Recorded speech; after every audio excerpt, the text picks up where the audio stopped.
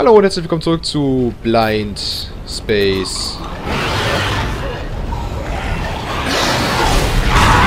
Dead Space, so. Natürlich renne ich erst los und höre auf zu reden, ne?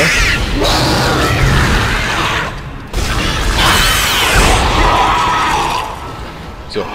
Ja, willkommen zurück zu Dead Space. Ähm, das letzte Mal sind wir hier in dieser Waschküche angelangt.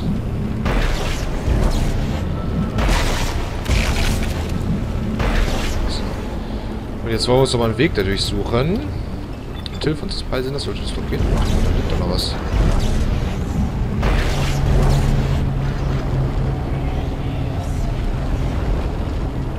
Höre ich da Stimmen im Hintergrund? Ich sehe Stimmen. Ähm, ja, hier muss ich rein, genau. Und das ist... Ja. Äh, wir müssten hier einen Aufzug nach unten nehmen, nur Aufzug funktioniert nicht, wir haben keinen Saft. Gut, suchen wir uns Saft.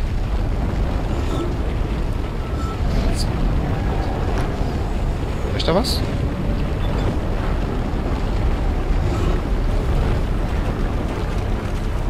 Ich wollte gerade fragen, wo wir sind. Ähm... Ich meine mich zu erinnern, dass diese Stelle des Spiels so ein bisschen nervig war. Was allerdings... Ja, jetzt ist noch... Ah ja, Playboy oder was das sein soll. Ähm, schön, dass die sowas auch... Logbuch des Verarbeitungsdecks, Supervisor Second Engineer Dallas. Das hier wird mein letzter Eintrag sein. Ich habe gesehen, was Sie mit, mit den Leichen machen, was aus ihnen wird. Ich werde nicht zulassen, dass das mit mir passiert. Wenn ich keine Gliedmaßen mehr habe, kann ich wenigstens niemanden mehr töten, wenn ich infiziert bin. Bitte sagen Sie Dawn und den Kindern, dass ich sie liebe. Oh Gott! Noch einer! Noch einer! Ja, was der gemacht hat, darauf muss man... Ich glaube, darauf muss man nicht groß eingehen. Eine, ähm... Ich würde wirklich sagen, eine mutige Entscheidung, sich selbst zu verstümmeln und im Grunde auch selbst umzubringen. Ähm, ja, er hat sich ja umgebracht, er hat sich die Gliedmaßen abgetrennt. Aber eine... Ich, wahrlich mutige Entscheidung. Nur damit er niemanden mehr töten kann, äh, sich selbst umzubringen. Naja. Man kann jetzt mal so sagen, gestorben wäre er vermutlich so oder so. Bei diesem Wahnsinn hier. Es ist ein Wunderwunder, dass Eisiger noch am Leben ist. So, hier ist jedenfalls die Energieeinheit, die wir mitnehmen müssen.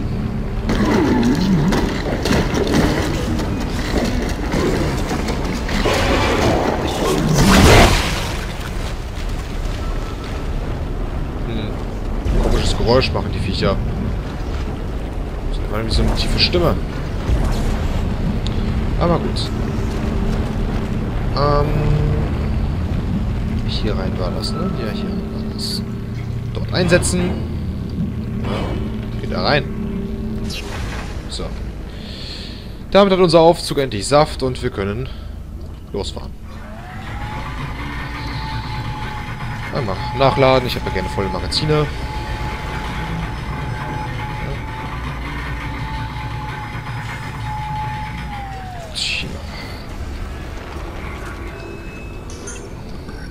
Müssten wir auch schon... Sind wir jetzt hier, wo ich denke, dass wir sind? Ja, das hört sich so an. Da ist eine Tür. Hier gibt es gratis Stase.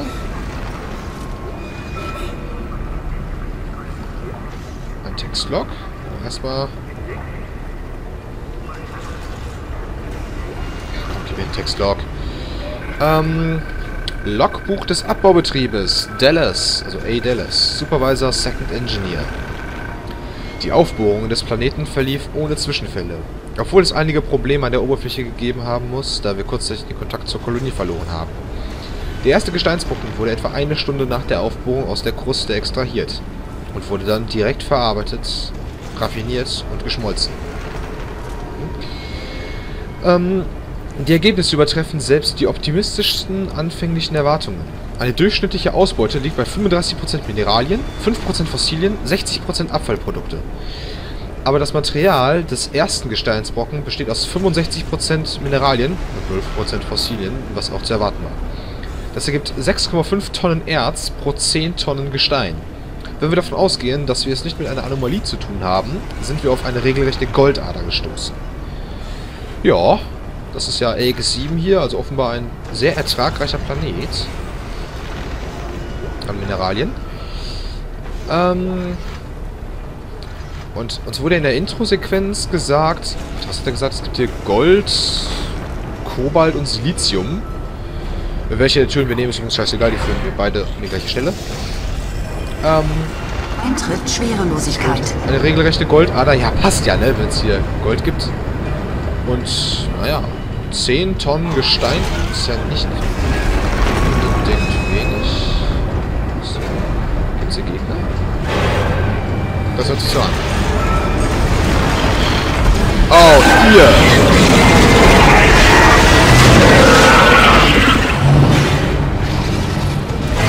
Diese Gegner. Oh, zwei Stück. Komm schon, stirb. Danke.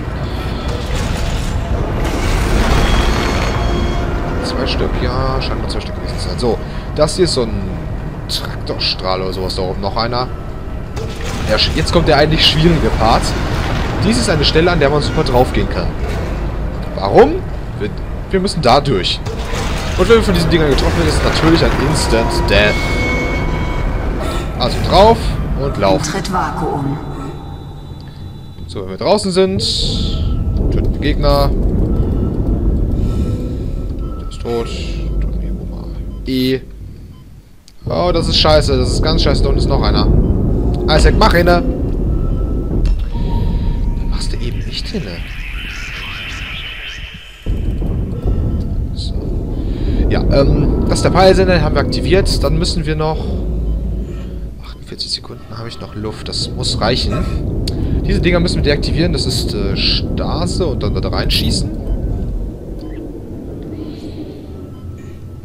Ähm...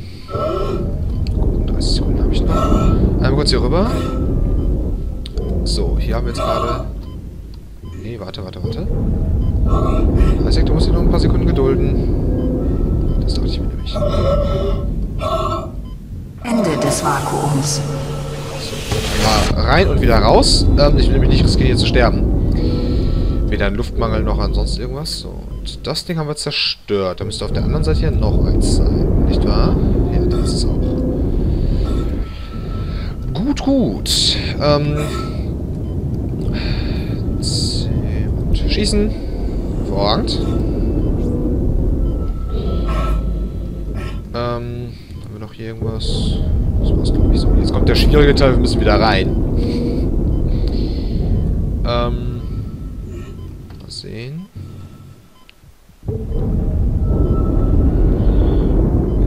Weggeht, kommt das andere. Scheiße. Halt den Schnabel, Isaac. Des Vakuums. Einmal auf die Seite. Das hat ja wunderbar geklappt. Ich erinnere mich, äh, dass ich beim letzten Mal durchspielen hier, glaube ich, dreimal gestorben bin, weil ich immer irgendwo falsch eingeschätzt habe. Naja. Hier runter. Das müsste auf dem Boden sein. Uns wird gesagt, dass wir hier... Also, ich glaube, der zählt auch zu diesem Dino von der anderen Seite. Und das letzte ist da oben. Spring doch mal. Danke. Oh. Ich hab doch alles gesehen hier vorbeifliegen. Mach ich das da. Schön. Ähm. So, und das letzte auch noch. Ich hab wieder nicht auf die Uhr. Achtung.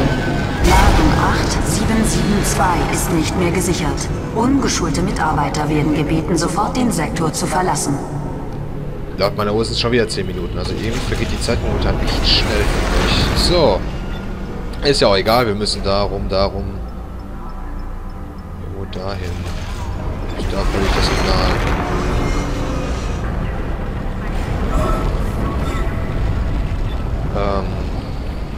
Zur Tür raus. Okay.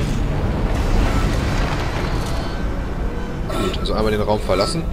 Ich dachte gerade schon, ich stehe auf dem Türrahmen. Ich habe doch hier... Ist auch egal. Hier draußen gibt es Gratis-Starts, muss ich jetzt keine benutzen. Kommen hier Gegner? Ich weiß es nicht. Ende der Schwerelosigkeit. Sieht nicht so aus. So. Dann das hier benutzen. Straße voll. Oben da noch was. Ich sehe da auch was und es ist tot. Wie komisch die Leichen hier mal aussehen. Das ist echt nicht schön. Warum da jetzt was war? Ich hab's eingesammelt. Äh, gut. Ah, ja, ich glaube, ich weiß. Ah, jetzt kam dieser Scheißteil. Ähm. Ihr erinnert euch gewiss noch an die Stelle, wo wir die Energieeinheit hergeholt haben. Sie zurückbringen.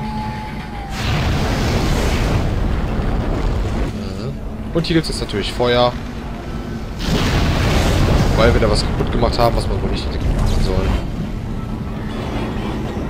Komm schon her!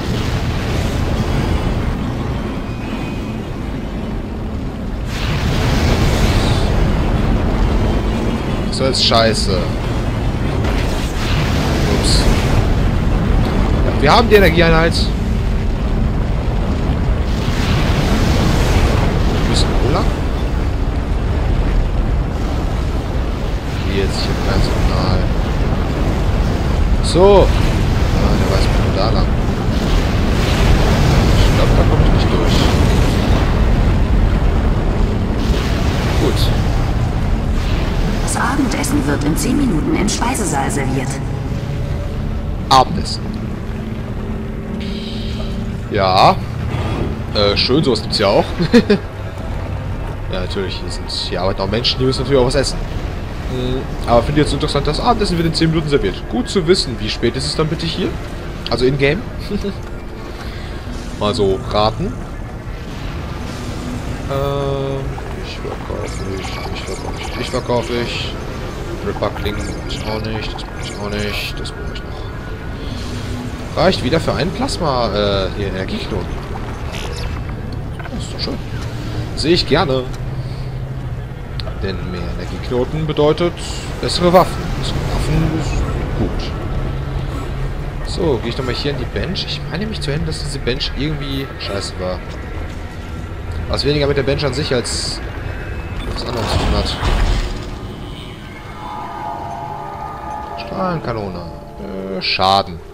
Die macht zwar schon genug Schaden, aber jetzt ist es mir auch egal. So. Das wusste ich doch! Verdammt! Das war's, was ich meinte mit die Bench ist scheiße.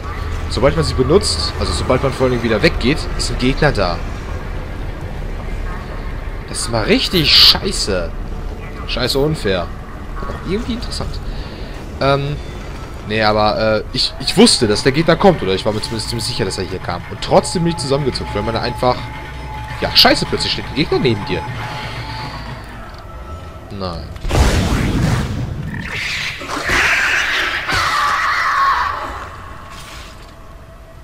Wo kamen die her? Was ist das hier? Ach ja, ich habe ja den Schlüssel für die Tür. Oh, ist das, ist das der Raum? Ja, das ist der Raum.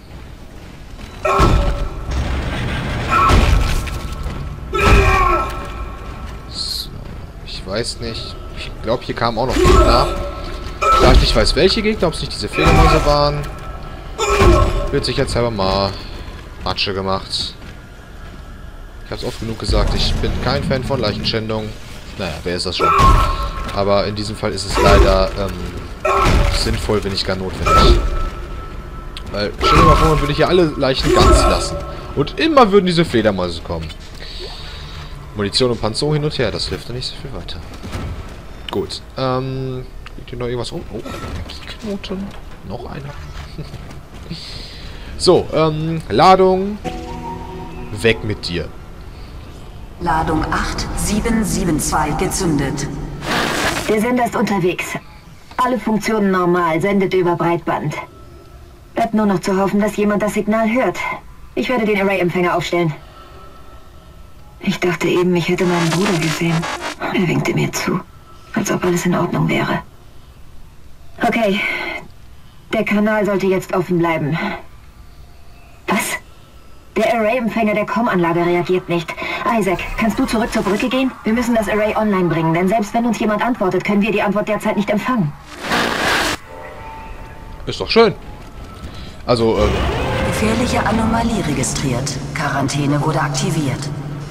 ich meine jetzt nicht, ist schön, dass wir momentan keine Antwort empfangen können oder so. Ich meinte... Ist doch schön, dass wir zumindest eine Überlebenschance haben. Autsch. War's das? Oder kommt da auch noch einer durch? Oh, war ein schwarzer.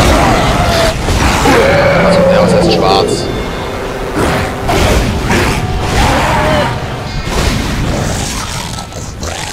Ich sage immer, die sind schwarz, aber sind sie ja nicht wirklich. Einfach nur ein bisschen dunkler. Quarantäne aufgehoben. Wirklich schwarz sind sie ja auch nicht. Außerdem könnte man dann wahrscheinlich irgendwie Rassismus oder sowas vorwerfen. Naja. Es ist ja nicht so gemeint. Ähm. Gut, äh, ja. Das Array ist im Arsch. Wir dürfen jetzt auch noch die Com-Anlage reparieren. Interessant, dafür sind wir ja eigentlich hier gekommen, ne? wir kamen her, um die Com-Anlage zu reparieren. Jetzt machen wir das sogar noch. Ist hier noch Gegner? Ne, den habe ich vorhin zusammengeschossen, genau.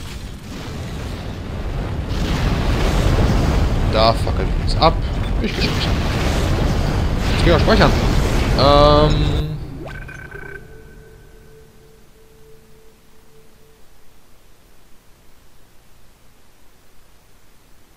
Ich kann gerade... Ich muss grad mal gucken, ob der Part vorbei ist. Momentchen.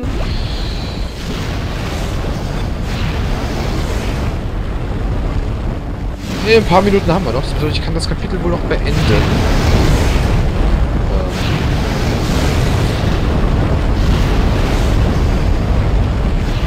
Wo lang? Da gerade durch. Ach genau, hier sind wir ja reingekommen. Ich nehme mal an, ich muss nach ganz... Scheiße. Entschuldigung, hab mich verdrückt. Jetzt war ich da ganz unten, aber wollte ich doch noch ganz oben.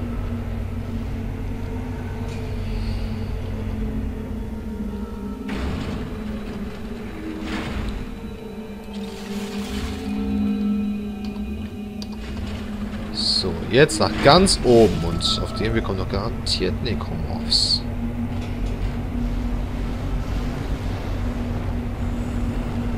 Oder? Kam die nur einmal in diesem Aufzug? Mich eigentlich schon so ein bisschen überraschen. Weil guck, das hier ist ja eigentlich auch ein recht guter Kampfschauplatz, sag ich mal.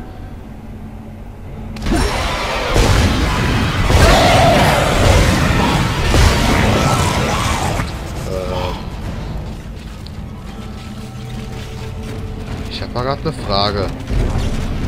Wo sind die Leichen von unserem ersten Necromorph-Kampf hier hin? Ach, scheiß drauf. Lass uns. Oh nein.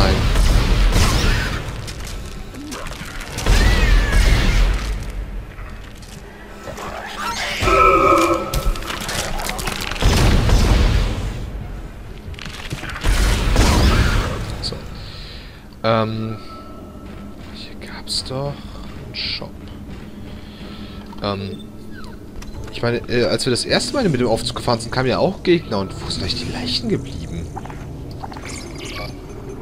Weil ich habe sie nicht weggeräumt. Ich bezweifle, dass hier irgendjemand rumrennt, der einfach sagt, ja, ich räume irgendwelche toten Necromorphs weg. Das wäre doch ein bisschen komisch. So, Werkbank, noch ein oder zwei Energieknoten verbrennen. Verbrennen? Ne, verbrennen tue ich lieber nicht. Ähm. Nehmen wir. Das, das. So, brauche ich noch einen. Sogar nur noch einen Energieknoten. Ich habe gerade einen über. Soll ich den benutzen? Nee, ich habe lieber einen mal dabei. Und das bedeutet, dass ähm, im nächsten Kapitel, da werden wir garantiert wieder irgendwo Energieknoten. Und dann habe ich auch die Strahlenkanone voll aufgerüstet. Schön, dann kann ich mit, wahrscheinlich mit der Rig weitermachen. Ich weiß zwar nicht ganz warum, aber egal. Vielleicht Luft. Das äh, könnte, ich weiß nicht, ob wir noch irgendwo ins Weltall müssen, aber es könnte vielleicht praktisch sein. Und wo muss ich jetzt langlaufen? Ich will das Kapitel noch beenden in dem Part hier. So.